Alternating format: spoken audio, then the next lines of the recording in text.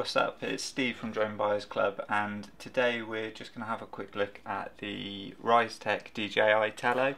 So this has just dropped through the door today and we're just going to open it up, have a quick look at it and just sort of see what comes in there. So the first thing you notice for sort of a DJI product, although it's sort of, it's a kind of cross project between a few companies but the first thing you kind of notice is that the boxing is is more aimed at kind of like a toy drone. So the you don't get the kind of professional looking box and everything that you'd get with the other other kind of drones from DJI, but you've got to bear in mind that this is probably a quarter of the price of the nearest drone to it, which is the Spark. So, you know, for a hundred pounds, this is kind of what you get case wise. So if we open it up inside, this packaging is literally just all the Tello drone. So it comes in one solid piece and it's got the prop guards attached, which uh, these are all removable, these prop guards, so you can fly with or without it, but to be honest, it gives you a bit of kind of peace of mind flying with that. The frame of it is pretty sturdy, it's for the price, I, I think that's quite a good solid frame and the prop guards are strong enough, you know, just to kind of keep you from breaking too many props. The other bits you'll get in there, grab these bits out here.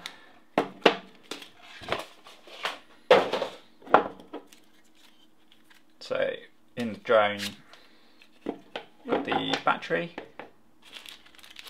and also these little bits which are four extra props and a prop removal tool which you don't really need but it's there anyway and obviously the instructions.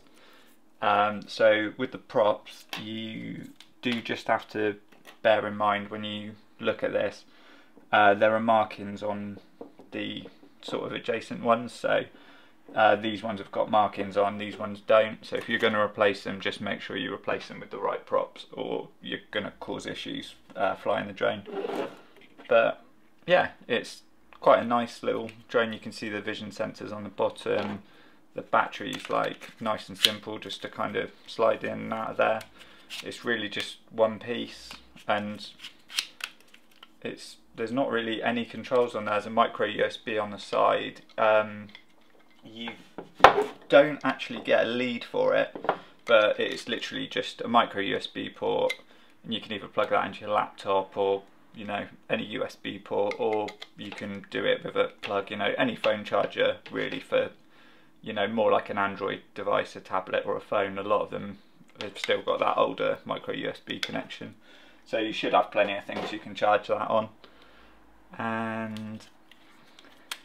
once it's charged up you literally you, you probably need to chuck this on charge I think they say for an hour and a half but basically the blue blinking light's got to go solid so just leave it on until it's all charged up so you get the most out of your battery. And then once it's on it's literally there's one button on the drone press it and that's it. Um, we're going to do a quick setup video as well so if you want to check that out make sure to subscribe and catch it up in the next video